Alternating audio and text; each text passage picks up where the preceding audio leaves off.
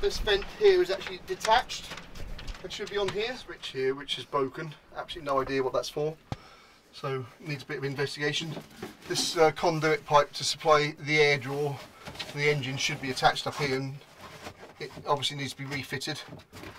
This uh, hoses off the um, the log up there, and then down in here, I think you've got a little fridge motor by looks of it of some sort, tucked away in a little guard box, which has been secured down. So that's that. Interesting use of a washing up bowl over there, which uh, always makes me laugh. The use of washing up bowls, but there we are. So a little bit of pieces, but generally the hull is all good. The, the, the bulkheads are all nice and tidy.